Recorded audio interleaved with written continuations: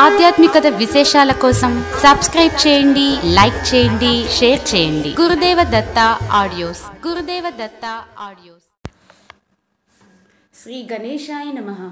శ్రీ సరస్వత్యై నమ. శ్రీపాదవల్లభ నృసింహ సరస్వతి శ్రీ గురు దత్తాత్రేయాయ నమ. సాయినాథ్ మహారాజ్ కీ జై. సాయినాథ్ సంస్థాన్ కీ జై. శ్రీ గజానన లీలామృతం.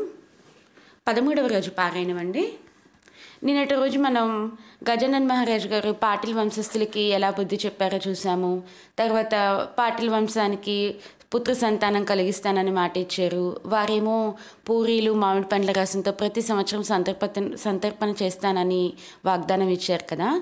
ఈరోజు మనం ఏం జరిగిందో చూద్దాం. పాటిల్ ఇంట్లో ఆనందం. శ్రీ గజానన్ మహారాజ్ వారి అనుగ్రహం సంపూర్ణంగా లభించిన పాటిల్ వంశం ఆనంద డోలికలలో తెలియాడుచున్నది.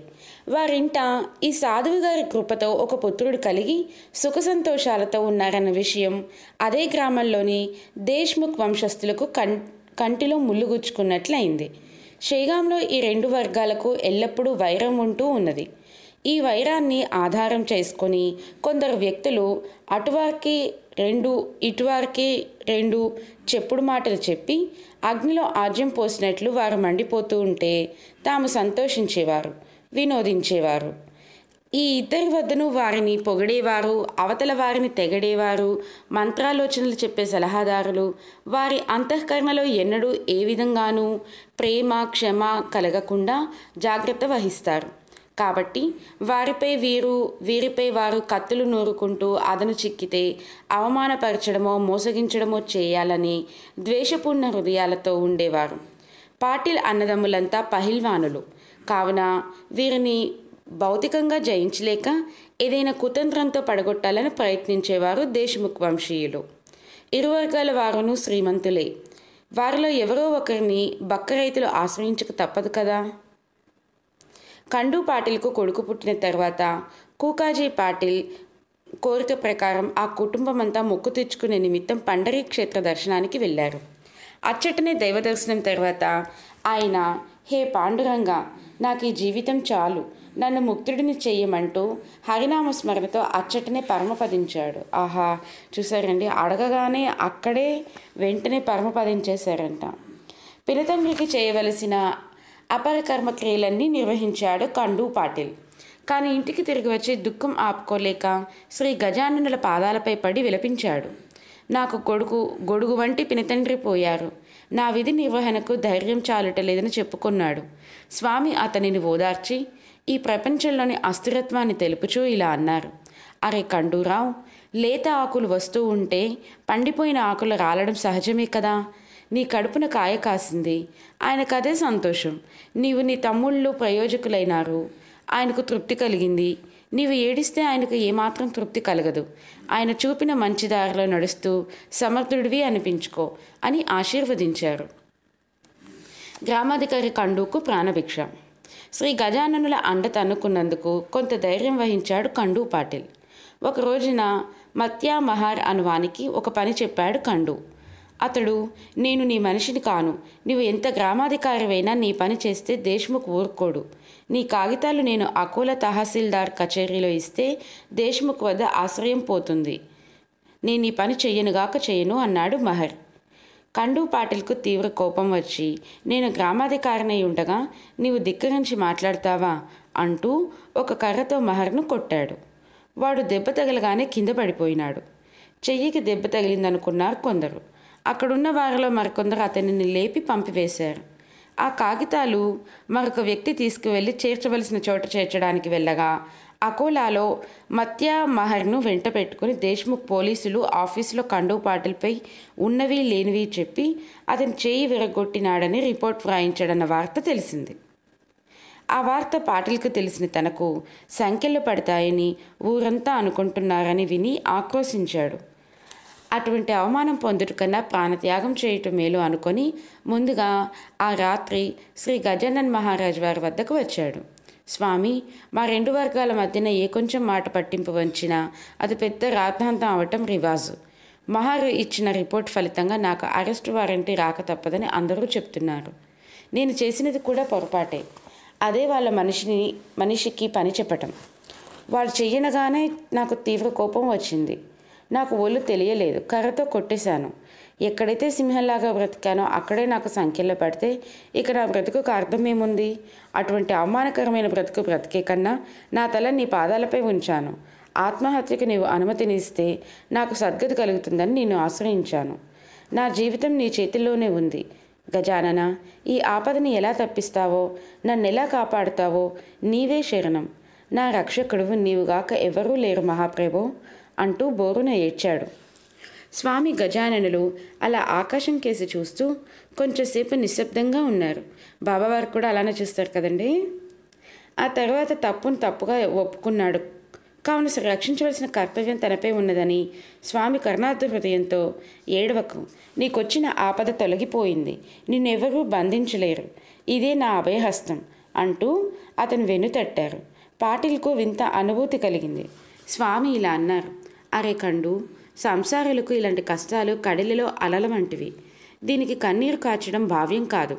స్వార్థము ద్వేషము కుట్ర కుతంత్రములు ఇవన్నీ ఒకే దుర్గుణానికి చెందిన లక్షణాలు. ఒకదానిని అంటిపెట్టుకొని మరొకటి వస్తూ ఉంటాయి. నీవు దిగులు పడకు. అసలు మహార్ చేయి విరగలేదు.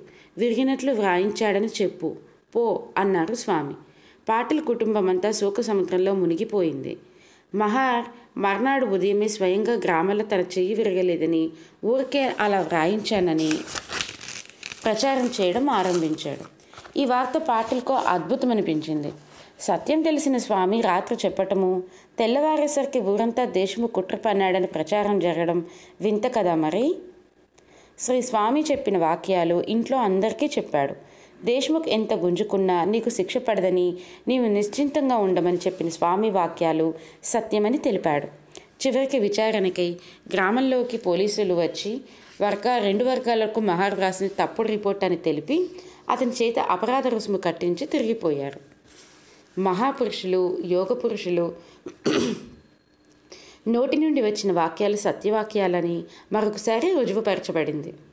మన దాంట్లో మన ఇప్పుడు ఇదంతా తను తప్పు చేసినా కూడా క్షమాభిక్ష కోరాడు కాబట్టి తన తప్పు తెలుసుకున్నాడు కాబట్టి స్వామివారు ఇక్కడ క్షమించి తనకి ఆ అవకాశం ఇచ్చారండి. మనం కూడా ఒకవేళ ఏమైనా తెలిసి తెలియక పొరపాటు చేసినా వాటిని సరిదిద్దుకొని మళ్ళీ రెండవసారి చేసుకోకుండా చూసుకోవాలి. ఈ సంఘటనతో దేశ్ముఖ్ వంశీయులకు పొగరు కొంచెం తగ్గింది. పాటిల్ వంశీయులకు భక్తి బాగా పుష్ప ఫలవరితంగా పెరిగింది. కానీ స్వామివారు మాత్రం ఈ రెండు కుటుంబాల మధ్య సయోధ్యత కల్పించే కార్యక్రమాన్ని ప్రణాళికాబద్ధం చేసుకోవడంలో నిమగ్నమైనారు. కండు పాటిల్కు శిక్ష పడకపోగా మహర్కు అపరాధ రుసుము పడటం దేశ్ముఖ్ వంశీయులకు కంటకమైంది. మరొక తరుణం దొరకక మరొక తరుణం దొరకకపోతుందా? పాటిల్ వంశీయులను అవమానించడానికని అని వేచి ఉన్నారు వేద బ్రాహ్మణులకు శ్రీ స్వామి గుణపాఠం బోధించుట. ఒకనాడు ఈ సంతోష సందర్భాన్ని పురస్కరించుకొని కండు పాటిల్ శ్రీ గజాననులను తమ ఇంటికి ఆహ్వానించాడు. శ్రీ స్వామివారు కూడా వెంటనే ఒప్పుకున్నారు పాటిల్ అన్నదమ్ములంతా చాలా సంతోషంతో మేళ తాళాలతోనూ భజన బృందాలతోనూ నామ సంకీర్తనలతో వారింటికి వారికి ఆహ్వానం చెప్పారు. పాటిల్ ఇంటిలో శ్రీ స్వామివారికి సమున్నతమైన ఆసనం వేశారు. ఆసనంపై స్వామివారిని ఆసీనులను చేశారు. బంకట్లాల్ పీతాంబర్ దామోదర్ భాస్కర్ పాటిల్ వంటి భక్త బృందమంతా ఎంతో సంతోషంగా ముచ్చటించుకుంటున్నారు. శ్రీ గజాననులకు పాదాలు కడిగి పాదతీర్థాన్ని అందరూ సేవించారు.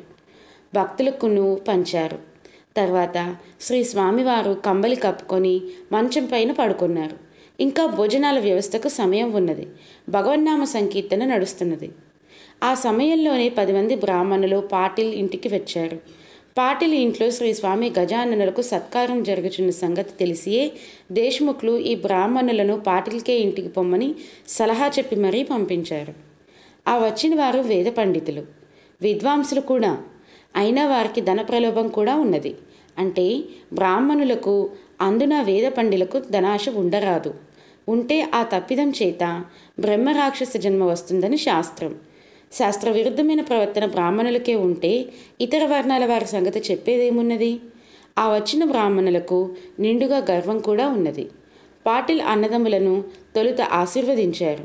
మేము బ్రాహ్మణులము. నీవు మాకు భిక్ష ఇస్తే ఆశీర్వదిస్తాము. ఎవడో వెరివాడి కాలికి మొక్కితే నీకేమొస్తుంది? అంటూ పాటిల్ను వెక్కిరించారు. కండు పాటిల్ ఓర్పుతో సహనంతో అయ్యా మీ అందరికీ వంటకు కావలసిన సదుపాయాలు చేస్తాను. దయచేసి మీరంతా విడిది చేయండి అని కోరాడు. ఆ బ్రాహ్మణులు సరేనని ఒప్పుకొని కొందరు వంటలో నిమగ్నమైనారు. కొందరు స్వామికి వినిపించాలని వేద పఠనం ప్రారంభించారు.